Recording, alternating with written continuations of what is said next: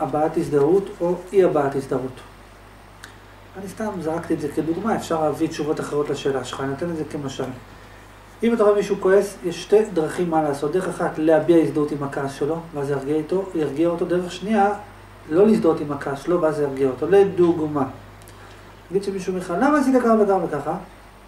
יש פה שתי אפשרויות. אפשרות אחת שתגיד לו, אוקיי, נכון, אתה צודק, אבל אם הסכמת איתו, הוא נרגע.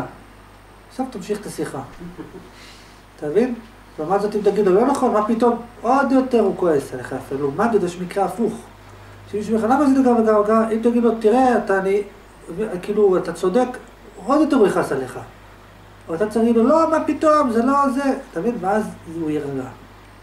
אתה מבין, עכשיו, אתה צריך לדעת לזהות מתי הוא רוצה שתזדהה איתו, מתי לא. אותו דבר נגיד לדוגמה לגבי חרדה.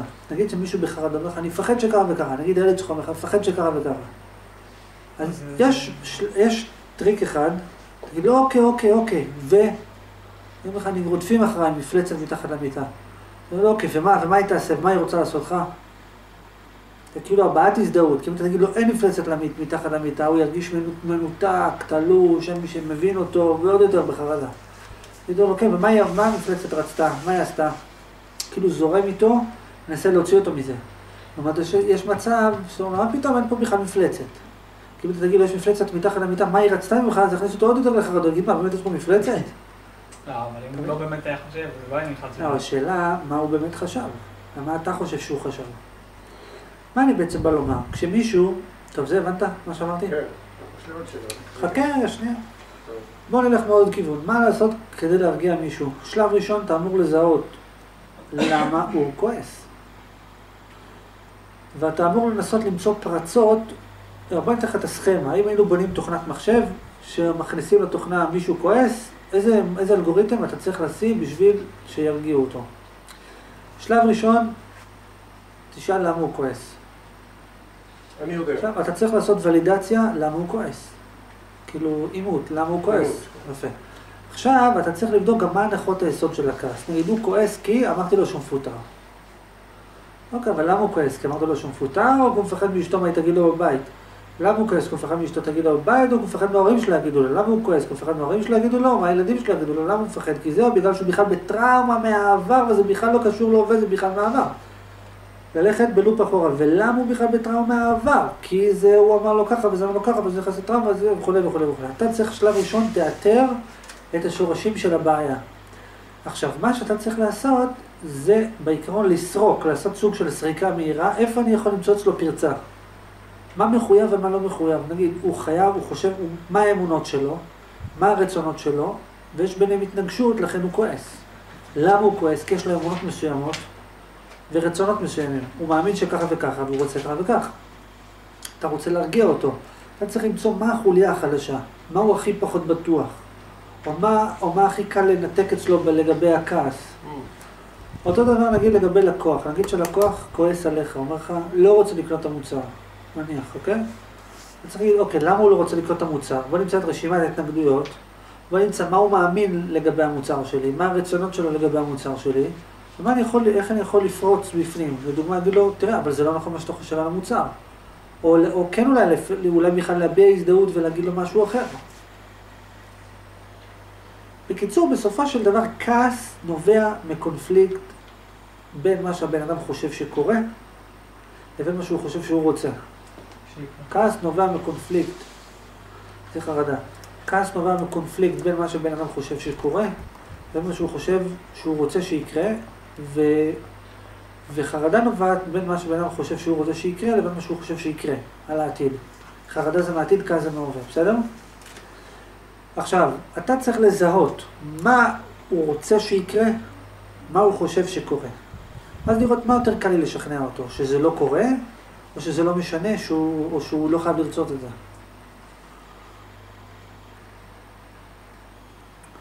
זה הרעיון. אוקיי. איך עושים את זה? אז אתה צריך לדעת, אתה צריך לדעת, קודם כל לדעת, להבין אנשים, לפי הצורה שהוא דיבר, מה מפריע לו, לפי מה שאתה מכיר אותו, מה יכול להיות שמפריע לו, וכולי וכולי. אוקיי. וגם לדעת, גם איך להסביר לו, לפעמים זה מתוך הזדהות, לפעמים זה בלי הזדהות, לפעמים ככה, לפעמים ככה. אני מכיר בן אדם שהתגובה הכי טובה זה לא לעשות כלום. מה? כן. לא הבנתי מה אמרת. יש בן אדם שהוא כועס, כועס עליי, אוקיי. ואני יודע שאפילו שאני יודע הזדהות, או אה, אני אגיד משהו אחר, או אי הסכמה, אי הזדהות, לא יעזור כלום. יש איזשהו שטף שהוא חייב להוציא, ואז הוא... אבל אתה שאלת אותי, אבל אתה שאלת אותי מה לעשות. לא אמרת לי, האם לעשות משהו? כן. אם אתה אומר לי, תגיד לי, מה עדיף? עדיף לעשות או לא לעשות? זו שאלה אחרת. אתה יודע, אז אנחנו נבדוק מה היתרונות בלעשות, מה היתרונות בלא לעשות. אבל אתה לא שאלת אותי, האם לפעול כשמישהו כועס ותוקף את זה וזה והוא לא נותן לך לדבר? שאלת אותי, מה לעשות? שאל- לא שאלת אותי האם לעשות, שאלת אותי, מה לעשות? אוקיי, אז אם ככה השאלה היא כזאת, יש בן אדם שכועס, וכשהוא כועס, הוא לא קולט, הוא רק פולט. הוא נראה לך לא קולט. מה? נראה לך לא קולט. קולט, כן. ואז אה, אין טעם להביע הזדהות או לא להביע אני לא רואה טעם, לא אין טעם. אני לא רואה טעם, אוקיי. יפה. ולכן השיטה, לפחות כלפיו, היא כזו שאני שותק. אוקיי. עד שהכל יוצא. אז מה השאלה? אה, השאלה היא... אה, האם יש דרך יותר טובה? סליחה? האם יש דרך יותר טובה?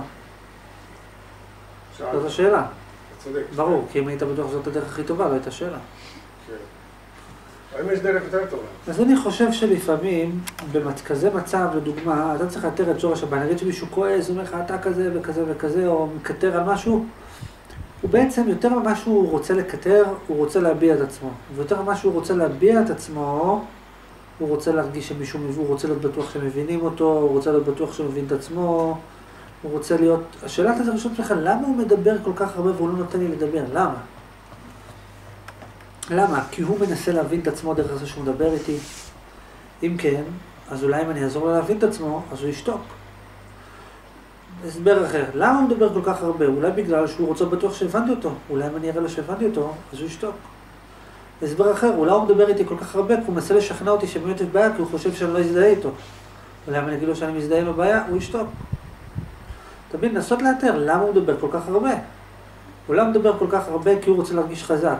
אולי אם אני, אגרום להרגיש חזק, אפשר לקצר את התהליך שהוא ידבר, כי הוא כבר הרגיש חזק. אבל שאולי אם אתה תגרום לו להרגיש חזק, אולי הוא מתלהב יותר מדי, אבל הוא ידבר עוד יותר. אתה מבין? ואז אולי צריך לגרום לו להרגיש חלש, ואז הוא יגיד, טוב, זה לא עוזר, אז אני יכול לשתוק.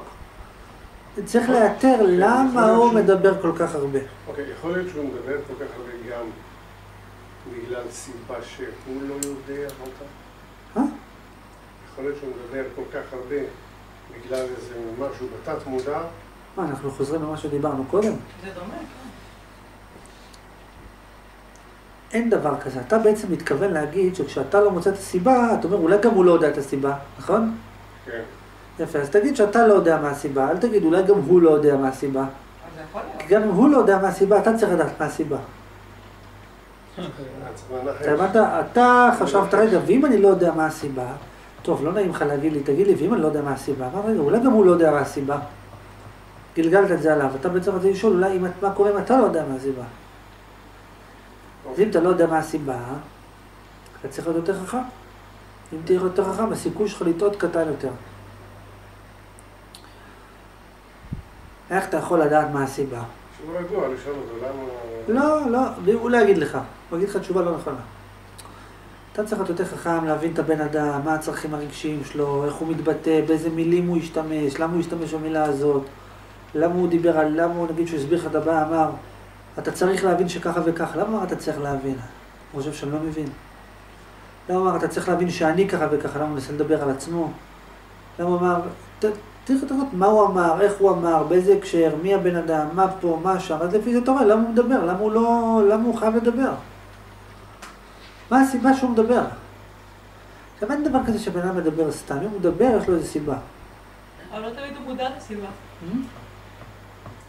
לא, כשהוא מדבר... לא, הוא לא תמיד מודע באופן מודע, מה שנקרא, אבל, אבל תמיד יש איזו סיבה. הוא מדבר והוא כועס וצועק והוא מסביר למה הוא עצבני. הוא מסביר, מסביר הסבר שהוא לא בהכרח נכון. לא בהכרח. כן. יכול להיות ש...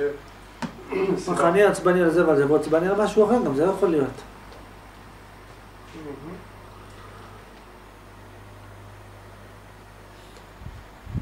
טוב, טוב, אז להיות חכם ולהבין. אתה? עכשיו, אם אתה רוצה להבין יותר טוב אנשים, מה אתה צריך לעשות? להבין יותר טוב את עצמך. כשאתה כועס, למה אני כועס? למה אני מדבר? למה הוספתי עוד שלוש מילים בסוף? למה... למה, כל הבני אדם הם... כן. כן. מה מה אמרת? כל בני אדם, מה? האם כל בני אדם הם אותו דבר? כן. איך אפשר לדעת את זה? לא, אי אפשר, לדעת את זה. אתה יודע שזה נכון? אני בדקתי וזה נכון. שכל בני אדם אותו דבר? כן. תחשוב בהיגיון, הרי המערכת הפעלה היא אותה מערכת הפעלה. הביטוי שלה שונה, המימוש שונה. מה זאת אומרת? איזה אז? הם לא אותו דבר?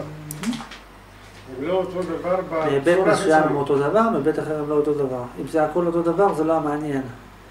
זה, אם זה היה שונה לגמרי, לא היה אפשר לתקשר. אני מתקשר איתך על סמך זה שזה גם אותו דבר, ואז אני מניח שאני מבין למה אתה מתכוון ואתה מבין אותי. מצד שני, אם זה בדיוק אותו דבר, אז לא היה משמעות לתקשורת. לכן הדינמיקה קיימת בזכות שזה גם אותו דבר וגם לא אותו דבר. ככל שתלמד יותר טוב את החלק של האותו דבר, ככה תשפר את המיומנות שלך על מה שזה לא אותו דבר. אני אסביר לך, אתה והוא אותו מנגנון, בסדר? מה אתה- זה מנגנון? כאילו, הראש כאילו אותו דבר? אתם חושבים אותו דבר. אתם חושבים אותו דבר רק בצורה שונה. סתם אני צוחק זה איתך. לא. תראה, אתם חושבים באותה צורה על דברים שונים. סתם, כן, תראה, אני מנסה להגיד כזה דבר. יש בתוכך ובתוכו אותו מערכת הפעלה, רק התקילו לכם שתי אפליקציות שונות. עכשיו, מאחר שאתה לא מבין אותו, אז ככל שתבין יותר טוב את הדברים שאתה דומה לו, יהיה לך יותר קל להבין את מה שאתה לא מבין. זה כמו שיש לך איזו תמונה שאתה רוצה להבין אותה, אתה לא מבין מה יש שם, אתה אומר, אוקיי, בוא נראה מה אני כן מבין, ולפי זה אני אוכל להבין יותר בקלות מה שאני לא מבין. מאיפה אני מבין אותך, נגיד, מאיפה אני מבין אותו, מאיפה אני יודע? יש את החוקים הבסיסיים שהם אותו דבר תמיד, אותם אני מבין, ואז הוא שואל שאלה, אני עושה השלם את החסר. אסביר לך עוד פעם. כשמישהו שואל אותי שאלה, מאיפה אני יודע תשובה?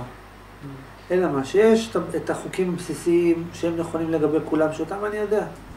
רצון, חיסרון, יש, אין, יתרון, יחסי, מוחלט, זה, זה מחזיק ומחזק את זה, זה הולך מפה, זה הולך לשם.